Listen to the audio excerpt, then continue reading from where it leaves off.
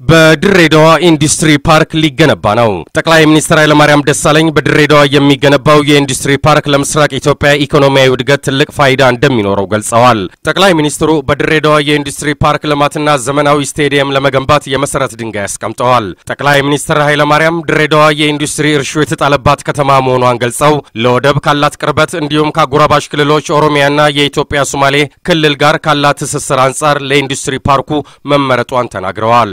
የከተማ አስተዳደሩ ከንቲባ አቶ ሰይድ ዚያድ በበኩላቸው የኢንዱስትሪ ፓርኩ ሰፊ የስራ ዕድል በመፍጠር የአካባቢውን ነዋሪዎች ተጠቃሚ ያደርጋል ብለዋል። በሌላ በኩል በድሬዳዋ 50 ሺህ ተመልካቾችን መያዝ የሚችል ዘመናዊ ስቴዲየም ለመገንባት የመሰረት ድንጋይ ተቀምጧል። ለስቴዲየሙ ግንባታ አንድ ቢሊዮን ብር ተመድቦለታል። ግንባታውም በሁለተኛው የእድገትና ትራንስፎርሜሽን እቅድ ዘመን ማጠቃለያ ላይ ይጠናቀቃል ተብሎ ይጠበቃል።